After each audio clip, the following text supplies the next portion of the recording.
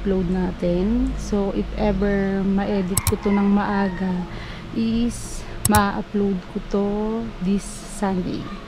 So, yan. Kakadating lang namin galing school. So, yan. Mag-start na tayo. So, marami akong gagawin ngayon. And then, marami din akong iaalis na gamit at dadalhin dun sa aming um, property. Okay, let's start.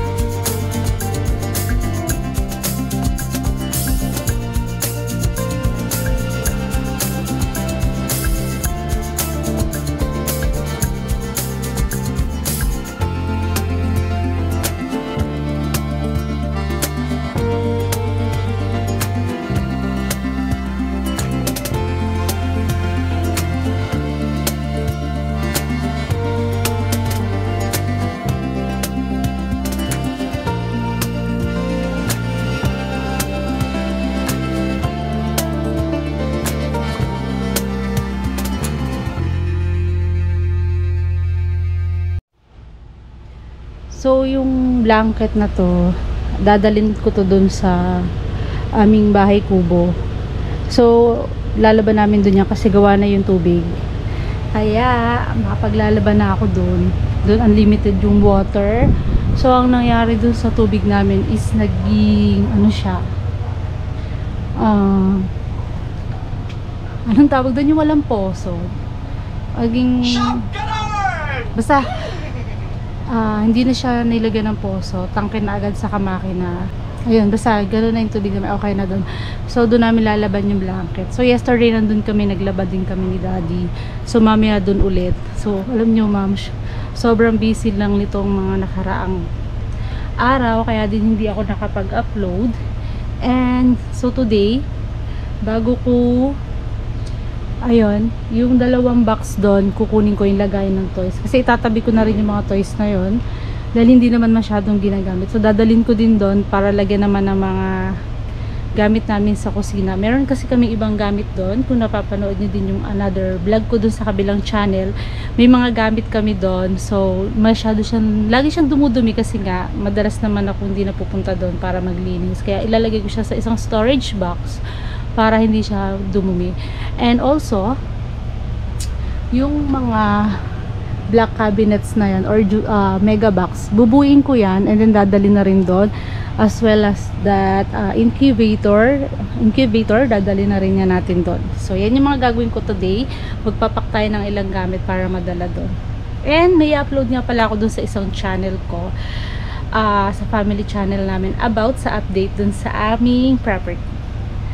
And, ayan mga moms. So ngayon magsha-shoutout tayo ng naka-video, hindi na voice over. And thank you so much nga pala sa walang sawang panonood.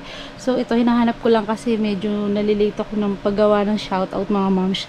So ito nakita ko si Mami um, Lori ng Nueva Ecija. Hi naku Mami Lori, kababayan po kita. Uh, I, from Nueva Ecija din po ako. So, shout out sa iyo, Mami Lori. So, et, yan. Binabasa ko lang siya dito kasi um, baka makalimutan natin yan. Thank you so much sa walang sabang panonood and God bless din sa iyong family. And also, um, sa shout out din natin si Mami April, yan, and Richard from Dubai. Yan. Thank you so much, Mami April, for your uh, support at saka sa uh, lagi ding panonood sa aking channel. So, sorry mga moms ko na late yung shoutout natin kasi minsan meron ako mga video na uh, na-film ko ng maaga at na-edit ko na so nalilate yung ibang shoutout. Pero next time, magbabalik ulit tayo sa normal. Kaya, yan nga, na-late yung upload natin. Pero try natin kasi sobrang busy mga moms at marami pa kayong aabangan sa ating mga cleaning videos kasi maraming magiging changes. So, um, mag-start na ulit tayo. Let's continue dahil tapos na yung aking labada. Meron pa isang salang dahil uh, tomorrow Saturday merong makeup class ang mga bata yan hindi ko na rin na-share yung aming first day of school pero next time mag-share ako kung ano ba yung naging experience ko lalo na kay Adam na uh, first time niyang nakapag-enroll sa big school at yung experience ko as a mom of ASD na nagpasok ng anak as a kinder in sa uh, sa normal school din. Ayan. So, let's continue mga moms.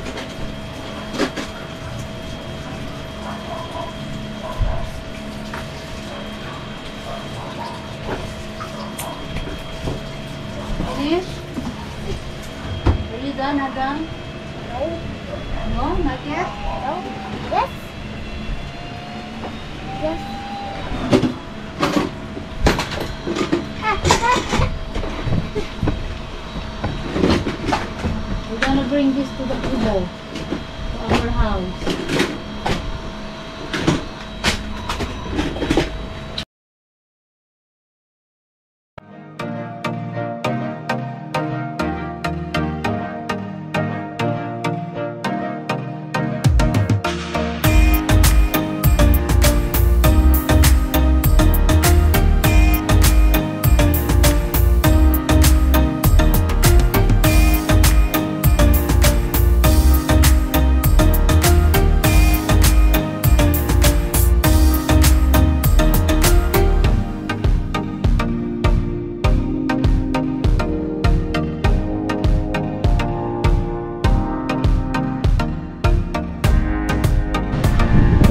So ito na ma'am, yung isang box na toys. So bala ko na rin dalhin yan doon sa bahay namin doon.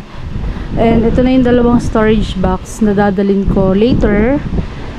At saka, yan, ito nakuha na ni daddy yung incubator. So lilinisin ko lang para iyon. Ilagay ko muna doon if ever di ko pa madala. Or maybe doon ko ilagay. Sa ilalim pa rin ng TV.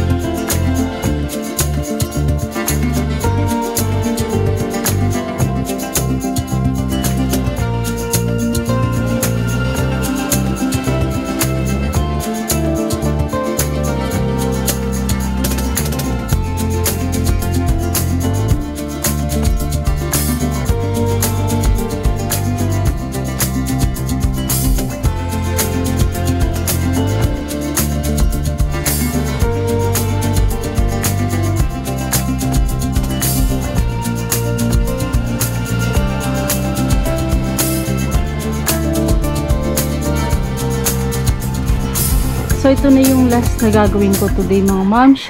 Ah, so, maiksing video lang to ah, na ginawa ko siguro. But it depends pa rin kung gaano yung magiging edit. Pero, um, inirarush ko to para may ma-upload naman ako at may ma-share naman for this week kahit late. So, ito na yung last na gagawin ko. Ibababa ko yan. And then, itatago ko na rin yung ibang gamit. Okay? So, let's start. Kasi later, is, alis na kami. So, magdahakot na kami ng mga gamit na hindi ginagamit. Iaalis na namin dito.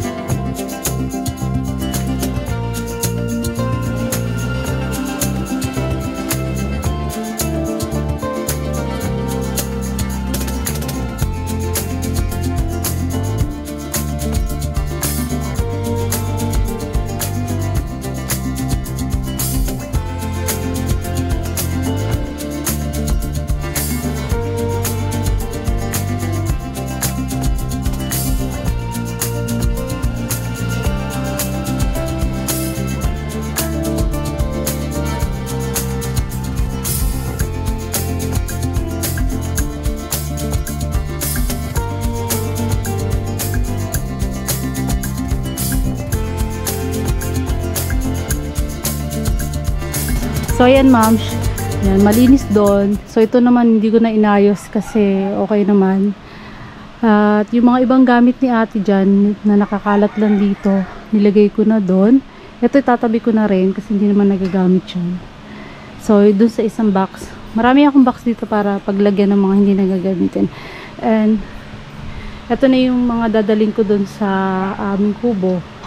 Yan, para mapaglagyan ng ibang gamit namin doon sa kadamit kasi madalas naliligo na rin kami doon. Mas madalas na rin kami nag-stay doon. Kaya, dadalhin ko na yan kasi hindi naman nagagamit dito. So, alisin ko lang din yung ibang laman yan para mailagay na rin sa box. If ever dalhin na rin namin, ba? And, ayun. Ayun mga moms, thank you, thank you. At sinamahan niyo muli ako dito sa aking speed cleaning na talaga namang rush na rush. So, um, thank you so much again mga moms. And see you next week for another cleaning video. Bye!